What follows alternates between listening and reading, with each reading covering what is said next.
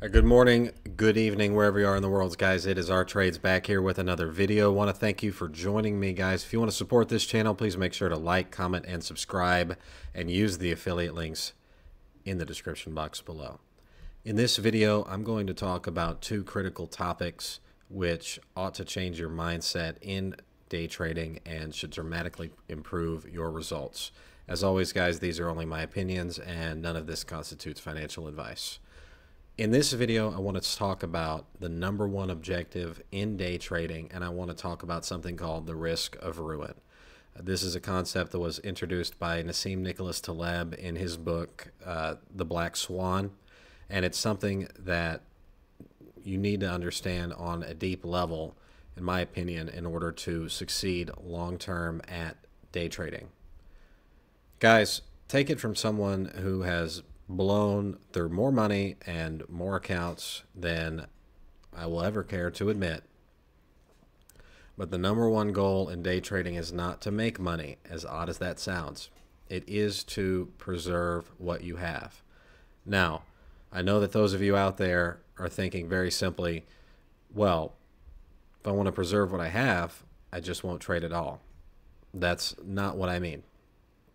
Guys, what I mean is that you need to focus on the process. You need to focus on the process. You need to focus on becoming better at the skill and getting into good habits rather than focusing on the returns that you're going to make in a day. Because what's going to happen is when you're over leveraged, when you're using too much size, you are going to take a loss and then you're going to chase those losses and then your losses are going to get larger.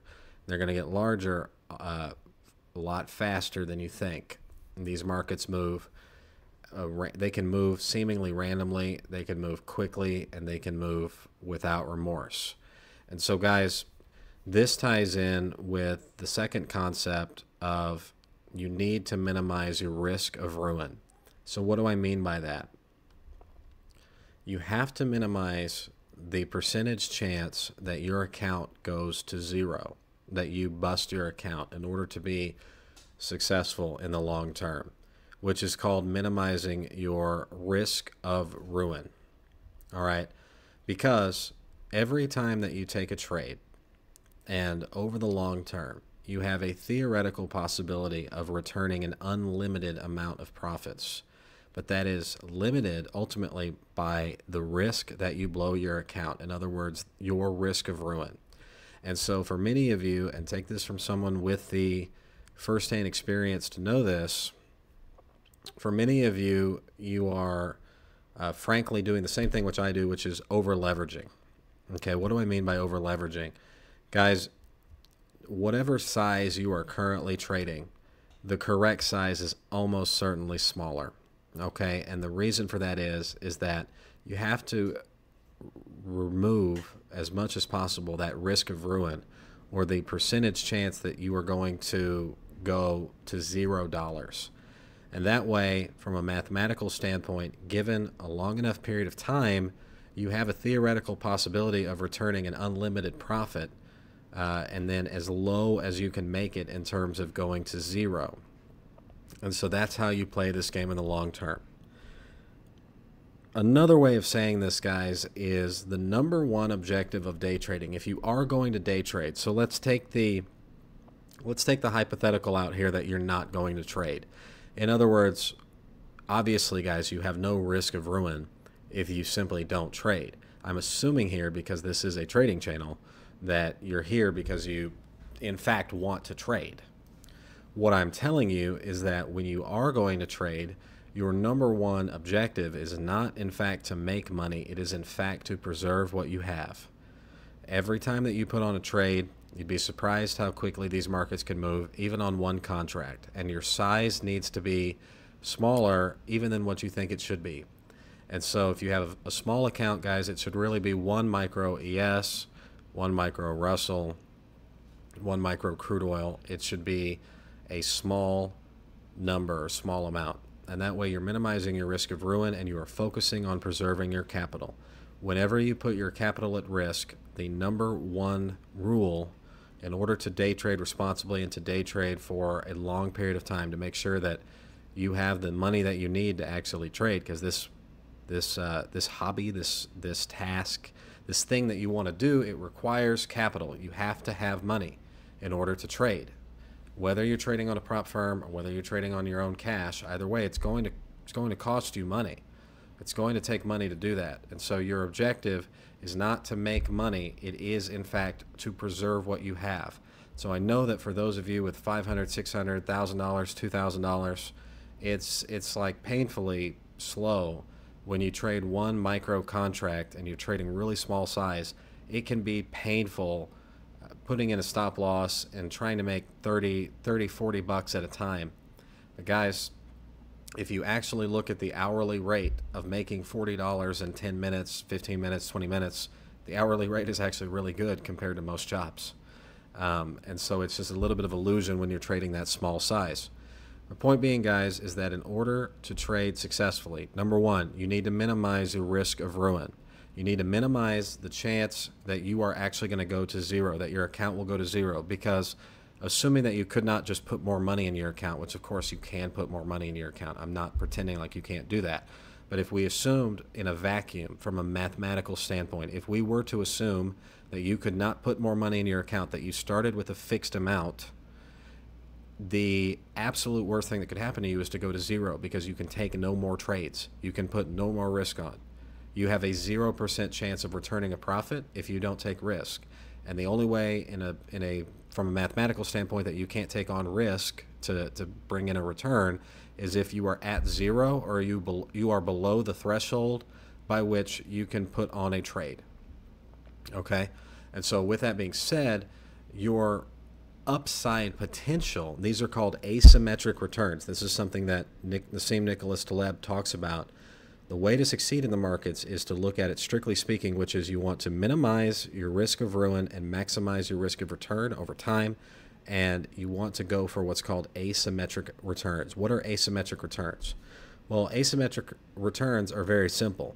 If you look at the US stock futures like the MES over any given period of time, the majority of time of the time they are really not moving all that much at all.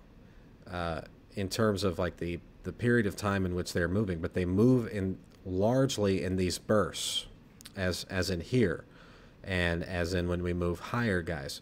The market tends to move in these bursts, although recently we've been grinding higher and there are some exceptions to that. The market tends to move in these bursts. So you have to minimize your risk while maximizing your potential of return. And the way that you do that is by trading a very small size to where really no one trade could ever, no one trade or even many trades could bust your account, uh, but you have an unlimited return. Also, guys, I want to talk about chance and I want to talk about variance. So what what is chance and what is variance? This is going to be the next chapter in this video. Guys, chance and variance. So this is a concept that you'll find in gambling or in poker in general. Uh, this is something that you're going to find in poker. You're going to find in gambling, but really, it's not. Um, it's not something that is restricted only to only to poker. Okay, guys. So this is. Uh, this is a coin poker 20 samples and confidence intervals. This is the expected value if you're to make two and a half big blinds over 100 hands. And as you can see, guys, there is a tremendous, even when you are a profitable poker player, there is a tremendous amount of variance. And you could even run uh, 90,000 hands with a, an overall be profitable and still run a loss. Guys, it is the exact same way in day trading as it is with playing poker. There is a variance to it where you could just lose a series of trades in a row. In fact, you could lose 10 trades in a row, but overall, you could still be a profitable trader. But because you are experience variance and this experiencing variance in the same way that a poker player will, you might lose for a long period of time. Guys, much in the same way that poker is a game of skill that incorporates chance. Trading is a game of skill that incorporates chance. And so, for example, if overall, let's say over 100,000 trades, over 100,000 trades, in the same way over 100,000 hands, if overall you are profitable trading, given the law of large numbers, you will in fact show a profit in the same way that a poker player uh, over over a large enough sample size will in fact show a profit. But there are going to be periods of time in which your win rate is going to be pretty low and that you're going to experience variance. Now, the issue is not that you're going to experience variance because all of you are going to experience variance. You're going to have multiple trades in a row uh, that fail. You're going to lose a lot of trades in a row. This is mathematically inevitable to happen. Uh, it's not something where I can look at you and, and tell you, oh, it might happen. No, I'm telling you that it will happen. You will experience variance, period. Even if you are overall a profitable day trader, you will in fact experience variance. Okay, given given 100, 200,000 trades, you will experience variance. You will have downswings. That's just mathematically a fact. You are also going to sometimes run into where you're running very positive variance. But you have to, like a poker player, you have to keep your long-term averages in mind. Now remember that when you are day trading, so this is now going to go into the topic of how you start every day trade at a loss and how overall, even though you don't have to win a majority of your trades, you overall have to show about a you know 51% give or take return because you have to overcome the commission and the spread. On every single trade, even when you're trading futures, there's a commission that you pay and there's a spread that you pay. Uh, even if that spread is very small, you're, you're still paying maybe a tick to two ticks in spread. And then in addition to that, you're trading a commission. So what does that mean? Mathematically, you are in fact starting every single trade at a loss every single trade at a loss, even if there's at any given moment a 50% chance that the market will go up and a 50% chance that the market will go down. You are always starting a trade at a loss. And it's very similar to how when you're playing poker and there are antes, uh, antes or blinds, you are in fact, uh, let's say you're in the big blind position. Every time that you are in the big blind position, because you are putting out a one big blind big blind bet that's why you have overall, given 100, 200,000 hands, given a large enough sample size, all poker players will show a loss in the big blind, no matter how skilled they are, because you're losing a big blind every single hand. And so, guys, you can make money trading, but you have to realize that number one, you have to trade smaller because you have to minimize your risk of ruin. Number two, you have to understand what I showed you here before mathematically, which is variance you don't feel bad if you lose 10 trades in a row. That doesn't necessarily mean that given enough trades, you are an unprofitable trader. What that means is that you have to take enough trades to get a large enough sample size to see whether you are in fact a profitable trader or a, or a not profitable trader. And then number three, you need to realize that, okay, given a vacuum, it's pretty easy to trade. But in fact, because you were trading live markets, you pay commission and you pay spread. So you were starting every trade at a small loss every single trade you're starting at a loss. And so really your trades have to be not just 51% profitable, you know, they have to be 53% profitable. They have to be slightly more profitable than not profitable every single trade you take, given a large enough sample size in the aggregate. So, what do you do with this information? The ultimate conclusion is if you over leverage if you trade too many contracts and if you dollar cost average, if you are adding on contracts and doubling your risk, which is something that I have lost way more money than I'm willing to admit, if you put on too much risk, meaning that instead of trading the one micro contract that you should be trading, the minimum size, you're trading two, three, four, five or more. You are over leveraging, meaning that you're trading 5 to 10% of your account per trade, whatever. If you are over leveraging, if you're trading too much size, you are guaranteed to lose. You are guaranteed to lose no matter how profitable of a trader you are because assuming that you continue to trade, at some point you're going to experience variance no matter how skilled of a trader you are. This, so again, to show you the variance calculator for poker, um, even even if I were to change this win rate, you would still see a a uh, a large a large variance. This is two and a half big blinds. Let's show you even if I made, even if you on average made five big blinds, notice that there is still at a five big blind win rate, which guys, if you play at five big blind win rate, Let me show you this on the poker variance calculator. That's a five big blind win rate. Look at how often you are still running into significant downswings. So, guys, if you over leverage, you are, if you trade too much size, if you trade too much size, you are mathematically guaranteed to lose. That's it. You are mathematically guaranteed to lose. You, in fact, given enough time, you will lose. You are paying commissions and you're paying spread on every single trade you take. And no matter how lucky you are, if you continue to press the button, you are going to lose.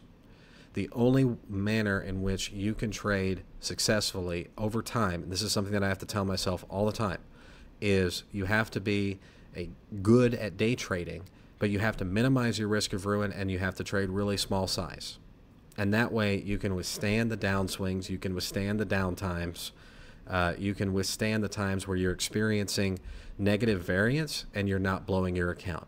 As long as you have the ability to trade, and meaning as long as you have enough equity to put a trade on, such that you can have an unlimited profit but a limited risk, meaning you have a you have a zero percent chance risk of ruin, a zero percent chance risk of ruin. The trade is not going to blow you out, right? That's a zero percent chance risk of ruin and you have a 100% unlimited profit given a, given a long enough period of time and given a large enough sample size, and assuming that you are in fact a break even or profitable trader, really you have to be a profitable trader to overcome commissions and spread, you are going to make money. And so that's it. That's the purpose of this video is the number one rule in day trading and to and I correlated it with poker. The number one rule in day trading is to preserve your capital it is to preserve your capital. You must minimize your risk of ruin while maximizing your potential of return. And you must trade the right size or you're guaranteed to lose because you pay commissions and spread in the same way and you experience variance in the same way that you do in poker, which is what I showed you on the online poker variance calculator. All right, guys. So in this video, I covered a topic of risk of ruin. I talked about what the number one objective in day trading is, which is not to make money, but to preserve your money and minimize your risk of ruin and to maximize your potential risk of reward. And that's it, guys. I want to thank you for joining me. This has been R Trades back here with another video. If you'd like to support me, like to support this channel, please make sure to like, comment, subscribe, and use the affiliate links in the description box below.